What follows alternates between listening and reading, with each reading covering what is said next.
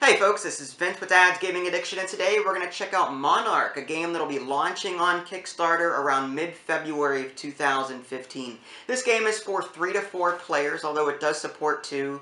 Uh, the developers don't officially recommend that. It's for ages 11 or 12 and up, and the average playtime is about 20 to 35 minutes. In this game, players will be taking on the role of sisters, who are going to be competing for their mother's crown. To do that, they're going to have to earn the most victory points.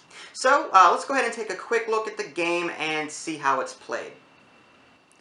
Alright, now before we get started, it's important to stress that what you're seeing here is a prototype copy, meaning that it is not reflective of the final product. Alright, now I'm not going to go over all of the rules found in the manual because as you can see here, there's a number of different pages.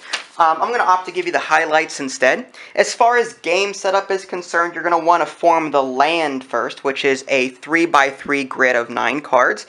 You'll have simple farms in small villages. Now I know this doesn't look like a 3x3 grid, but I was trying to capture everything under one camera shot, and I couldn't do that uh, utilizing a 3x3 grid. But what you're going to want to do is shuffle these uh, small villages up and simple farms up, and then deal them out uh, in a 3x3 grid. So you'll have some simple farms and some small villages to form your land. You're also going to shuffle this deck of market cards, and you'll deal five face up to form the market row. Players will be buying from this market row throughout the game.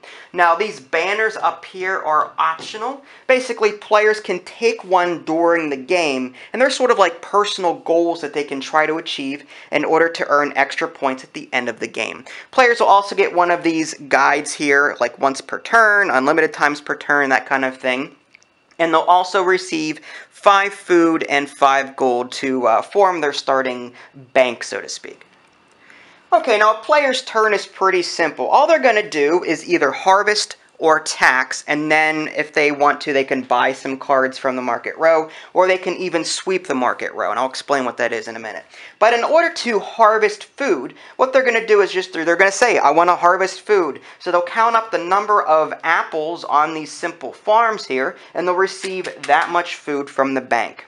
Now, you can upgrade these uh, land cards. There are some cards in the market deck here, like this irrigated field, so if a player were to buy this card and place it down like this, you can see here that it awards players two food uh, whenever they decide to harvest. So you can upgrade these land cards in order to collect more resources on your turn.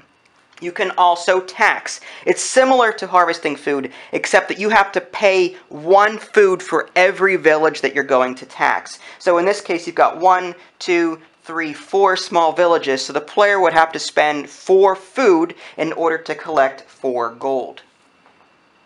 After a player has either taxed or harvested food, you can't do both, they can buy as many cards from the market row as they want to, assuming they have the resources. Now, you can see the cost of a particular card in the upper right-hand corner. Let's see if we can focus in on that.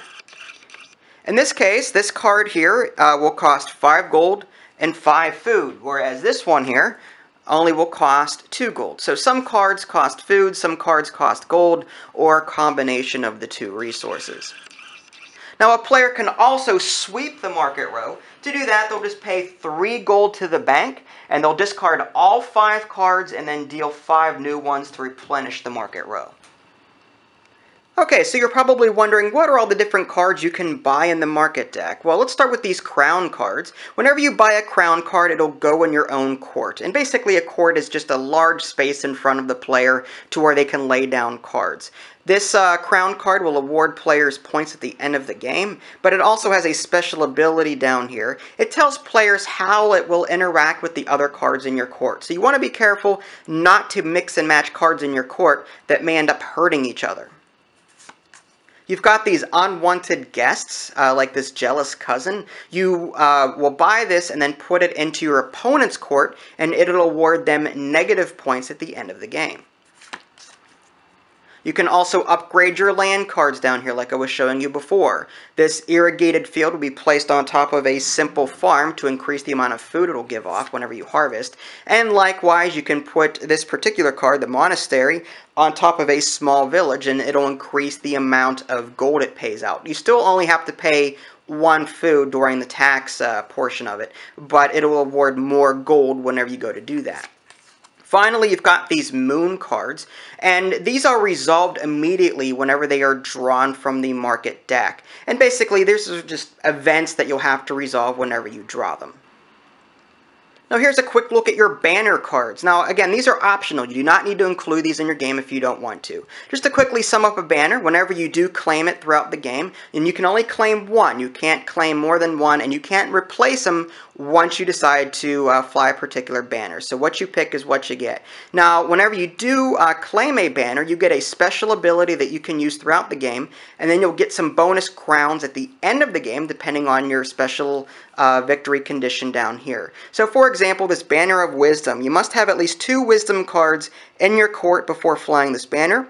Throughout the game, you can collect one gold when another sister taxes, and at the end of the game, it's worth one crown for each Wisdom card in your court or the land. And the other cards are similar in that regard. Uh, Banner of Balance, Banner of Might, you've got the Banner of Bounty, and the Banner of Culture.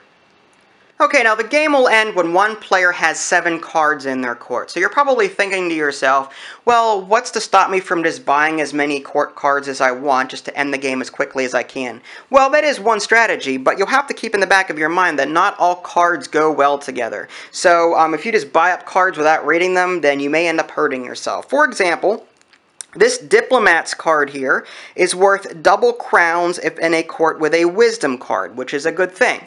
However, um, let's see if I can find a different combination here. The Cannon is a Might card. Upon purchase, discard one Unwanted Guest, so powerful card there. However, um, this Harpists and Flutists uh, crown card worth no crowns if in a court with a might card. So if you get this cannon, which is a might card, and then put this culture card in here, you'll actually get zero crowns at the end of the game because it does not mesh well with this might card. However, on the other hand, this pure white stag is worth double crowns if in a court with a might card. So you have to read these cards carefully to make sure that you're mixing and matching the right cards. Alright, and there you have it, a very brief look at Monarch. It's important to stress that I did not cover all of the rules found in the manual. This was just a quick overview to give you an idea as to what you're in for should you decide to support this game. Speaking of which, like I said, it'll be available on Kickstarter to support around mid-February of 2015. So if you like what you see, go check it out. If you want to read my preview, you can at www.dadsgamingaddiction.com. And if you haven't already, subscribe to my YouTube channel. That way you can keep up to date with any new content I happen to publish. This is Vince, thanks for watching, and I'll catch you next time.